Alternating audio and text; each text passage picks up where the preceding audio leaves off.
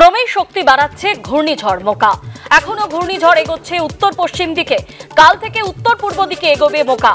রবিবার বাংলাদেশ, মায়ানমার উপকূলে ল্যান্ডফলের সময় সর্বোচ্চ গতিবেগ হতে পারে একশো পঁয়তাল্লিশ কিলোমিটার। মোকার পরোক্ষ প্রভাবে পশ্চিমবঙ্গে গরম বাড়বে বেশ কয়েকটি জেলায়। তাপপ্রবাহ পরিস্থিতির সতর্কতা।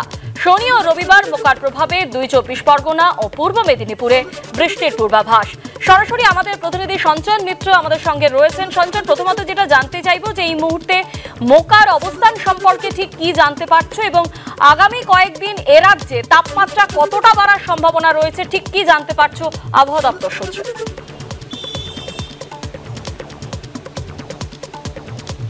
দেখো, মোকা এখনও বঙ্গোপসাগরের ওপরে রয়েছে এবং তার যে অভিমুখ, সেটা আপাতত উত্তর উত্তর পশ্চিম দিকে রয়েছে এবং এটা আগামী কাল পর্যন্ত থাকবে।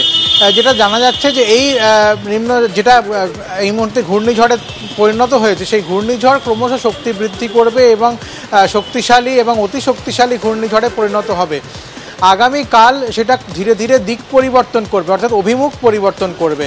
সেক্ষেত্রে আগামী কালকে থেকে সেটা ক্রমশ উত্তর এবং উত্তর পূর্ব দিকে ঘুরে যাবে এবং ক্রমশ মায়ানমার এবং বাংলাদেশ উপকূলের দিকে সেটা এগিয়ে যাবে। যেটা মনে করা হচ্ছে যে চোদ্দ তারিখ, অর্থাৎ রবিবার সকালের দিকে, অর্থাৎ মধ্যাহ্নের আগেই তা ল্যান্ডফল প্রসেস সেটা শুরু হবে এবং সেই কক্সবাজারের কাছ দিয়ে সেটা স্থলভাগে প্রবেশ করবে। এবং এর সর্বোচ্চ গতিবেগ যেটা আপাতত বলা হচ্ছে যে সেটা একশো পঁয়তাল্লিশ কিলোমিটার পর্যন্ত গতিবেগ নিয়ে সেখানে আছড়ে পড়তে পারে।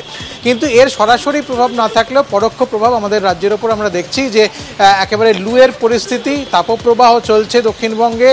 আজকেও তাপপ্রবাহ রয়েছে, আগামীকালও কয়েকটা জেলাতে তাপপ্রবাহ থাকার সম্ভাবনা রয়েছে। বিশেষ করে পশ্চিমের দিকে জেলাগুলো। গত কয়েকদিন ধরে আমরা দেখছি যে একচল্লিশ, বিয়াল্লিশ, তেতাল্লিশ ডিগ্রি তাপমাত্রা পশ্চিমের জেলাগুলোতে।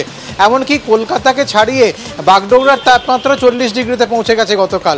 সব মিলিয়ে এই যে বাড়তে থাকা তাপমাত্রা, তার ফলে তাপপ্রবাহ এবং পশ্চিমের শুকনো হাওয়ার দাপট, তার ফলে লুয়ের পরিস্থিতি, এটা আগামী কাল পর্যন্ত দক্ষিণবঙ্গের জেলাগুলোতে থাকবেই।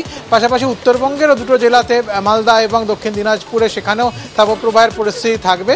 যেটা মনে করা হচ্ছে কালকের পর থেকে আবহাওয়ার পরিবর্তন হবে। কিছুটা আকাশ কিছুটা মেঘলা হতে পারে এবং শনিবার ও রোববার উপকূলের জেলাগুলোতে অর্থাৎ দুই চব্বিশ পরগনা এবং পূর্ব মেদিনীপুর এই তিনটে জেলাতে মূলত হালকা বৃষ্টি কোথাও হ্যাঁ, কোথাও কিছুটা বজ্রবিদ্যুৎ সহ বৃষ্টি রোববার সম্ভাবনা থাকছে।